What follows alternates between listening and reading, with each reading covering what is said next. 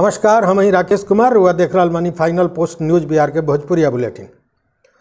देखिए, अभी तक कोरोना से बिहार में जो मौत रहा उ कालू तक रहा पाँच हज़ार चार सौ अंठावन। आ एक बेर आज, माने पिछला चौबीस घंटा में एकर आंकड़ा जे बा, से बढ़ के हो गेल नौ हज़ार चार सौ उनतीस। माने एक दिन में चार हज़ार पाँच सौ अंठावन से आंकड़ा चल गेल नौ हज़ार चार सौ उनतीस। दिमाग रहो जो बात से चकरा गेल होई, हमरो चकरा गल बा। एक दिन में उनतीस सौ इक्यावन आदमी के मौत के आंकड़ा देवल गेल है। अब काहे भेल, कैसे भेल ए पर तनी नज़र गड़ाई देखिए भेल का कि पिछला 24 घंटा में पूरा देश के बात हम अभी कर, करत पूरा देश में चौरानवे हज़ार बावन गो नया पेशेंट मिलल।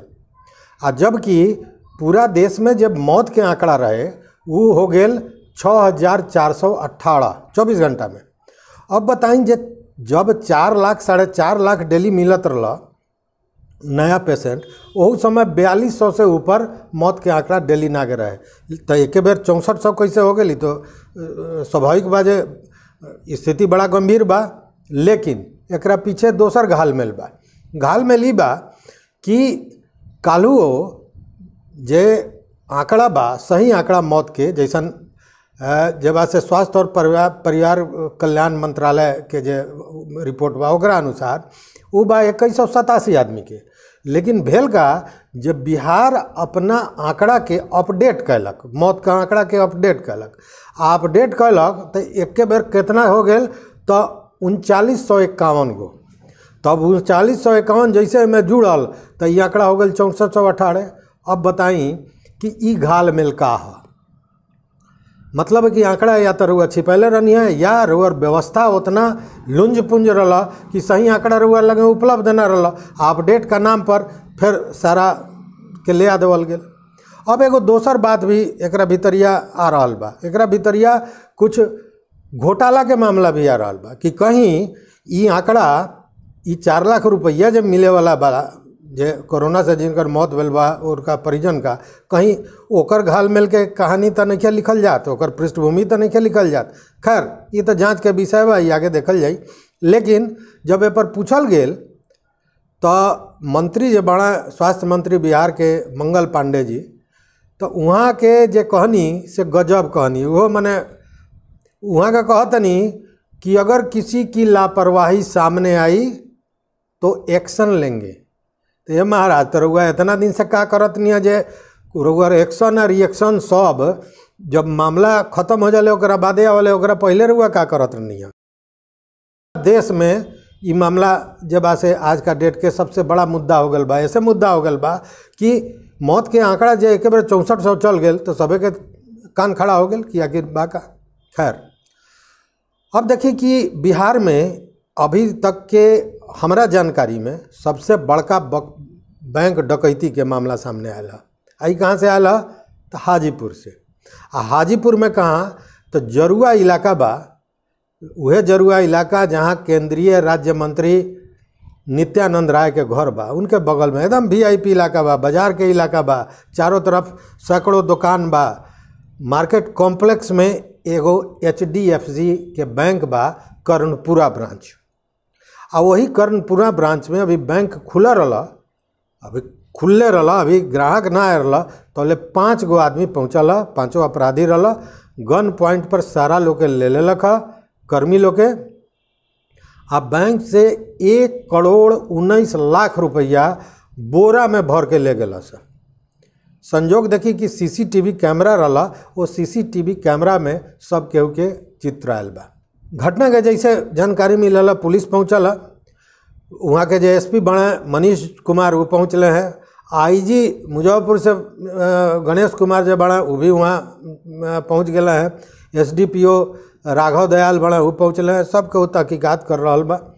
खंगालल जा रहा बा, सीसीटीवी जो में ओमे सबके आयल बा, पाँच आदमी के आयल बा, जौन बोरा झोरा पीठ पर लाद के पैसा लेके जा रहा बा। आखिर उतना भीड़ भाड़ का इलाका में दिन दहाड़े ई का ह लॉकडाउन खत्म भेल, जैसे अनलॉक भेल बिहार, वैसे अपराध भी अनलॉक हो गेल का आ सेकंड डे बा।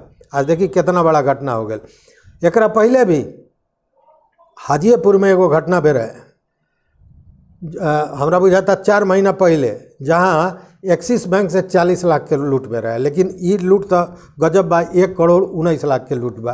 पुलिस तहकीकात कर रहा बा। अब देखिए, ओकरा बाद का मामला सामने आवता। लेकिन ये कहीं ना कहीं पुलिस प्रशासन पर बहुत बड़ा प्रश्न चिन्ह बा कि बैंक के भी सुरक्षा करे में असमर्थ बा। अब बांका का घटना पर हम निकाल जाओ। याद बा, परसों बांका में एगो नोटोलिया जगह बा नोटोलिया में, मदरसा में ब्लास्ट में रहे, जोना से मदरसा जे बा से जमींदोज हो गए रहे। लेकिन जब अगर जाँच हो रहा बा, तब परत दर परत नया नया बात आ रहा बा। वहाँ जाँच में एस एफ़ एस एल और ए टी एस के टीम वगैरह सब पहुँचल बा।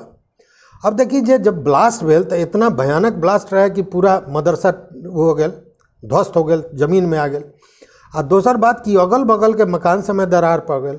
आ ई ब्लास्ट का बाद वो गाँव के या वो मोहल्ला के जितना भी आदमी रहला, युवक रहला, उ सब केहू जे बा से जगह छोड़ के भाग गेल बा। अब गाँव में के बचल बा तो कुछ महिला आ कुछ बुज़ुर्ग लोग, जे लोग केहू कोनो बात के जवाब देवे के कोशिश नहीं खे करत। लेकिन जे जानकारी मिलल, वो जानकारी के अनुसार जब मदरसा में ब्लास्ट भेल वो समय इमाम अब्दुल सत्तार मोमिन, आ, कुछ औरो लोग का साथे वही में रहे। जौन जख्मी हो गए।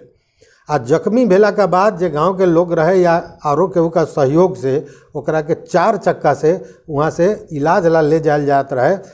आ, कोशिश ही रहे कि बिहार से टपा के उनका के झारखंड में लेके चल जाई, जहाँ फिर धर पकड़ के मामला ना हो खैर, ये स्थिति बना रहे, लेकिन अब यही में एगो औरो बात आयल कि पहले ये ब्लास्ट के सिलेंडर ब्लास्ट का रूप में देखावे के कोशिश कयल गेल। आ ओकरा चक्कर में एगो छोट सिलेंडर भी ओमें बाद में रख देवल गेल। लेकिन उस सिलेंडर में तो कुछ भेल ना रहे हो, चूँकि ब्लास्ट होकर रहे ना।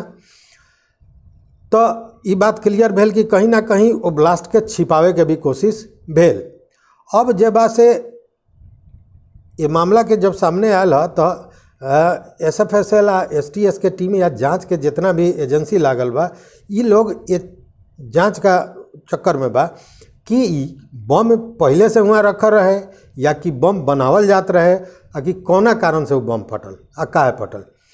अगर बम वहाँ रखल गए रहे या बनावल जात रहे तो पीछे का उद्देश्य हो सकता, काहे रखल जा सकता, ई सारा चीज़ का पीछे पुलिस लागल बा। एगो बात जानकारी भेल कि जब ब्लास्ट भेल आ जे मोमिन रहे वहाँ के जौन इमाम बा तो इमाम जब घायल भेल तो जब वहाँ से घायल के लेके जायल जा, जात रहे लोग तो इशारा कहलक जे वहाँ अलमारी में पैसा रखल बा। बाद में इमाम के केहू आदमी आके ओमे से पैसा ले गेल पैसा कितना रहे इहो कहल मुश्किल बा। बाद में जब खोज जाँच बिन भेल ह तो वहाँ एगो पल्सर मोटरसाइकिल कोना में मिलल पड़ल। पल्सर मोटरसाइकिल के जब चेक भेल तो डिक्की से कुछ कागजात मिलल। आ, वो कागजात में एगो मोबाइल नंबर मिलल बा। वो मोबाइल से भी पुलिस खंगार रहल बा कि कहाँ कहाँ का मामला हो सकता। अब देखिए जो इमाम रहे हैं कोशिश करत रह भागे के झारखंड में। तो इनकर एगो चाचा बाड़ा यूसुफ मियाँ, उनका अनुसार जैसन बतावल जा रहा बा कि वो बतावत रहे कि झारखंड के ही निवासी रहला। आ पिछला दस बरिस से नौटोलिया में इमाम का रूप में पदस्थापित रहे। एने बीच में कुछ महीना से ई बाहर रहला, आ मिहजाम में कोनो मदरसा में रहला। अब कहाँ रहला का रहला, ई जाँच के विषय बा, पुलिस जाँच रहल बा, जाँच के बाद सारा मामला सामने चल ऐसे, एफ़ एस एल के जब जाँच के प्रथम दृष्टया जब मामला सामने आला ओमे ये बात के पुष्टि भेल ह कि बारूद के अंश ओमे मिलल ह। अब एकरा के फोरेंसिक जाँच में भेजल जाई अब फोरेंसिक जाँच में ही क्लियर होई कि बारूद जे रहला, उ कौना तरह के रहला। हाई एक्सप्लोसिव रहला, आ कि का रहला मतलब ओकर कौना तरह के बारूद रहला, कौना तरह के विस्फोटक रहला, एकर जानकारी मिली। आ एकरा अनुसार फिर आगे के जे जाँच बा वो आगे बढ़ी। न्यूज़ तो बहुत बा, लेकिन आज बस इतने फिर वही बयान भेंट। चैनल पर नया होई तो निश्चित रूप से सब्सक्राइब करी, लाइक करी, आ कमेंट ज़रूर बताई कि रुआ एक के कैसे देखे के चाहतनी आ हमनी का फेसबुक, ट्विटर पेज के लाइक करी चूँकि हमनियों के कर्तव्य बा कि अपना मातृभाषा के, अपना भोजपुरिया भाषा के आगे बढ़ाई सा। तो एकरे साथ विदा लेतनी जय भोजपुरी, जय भोजपुरिया।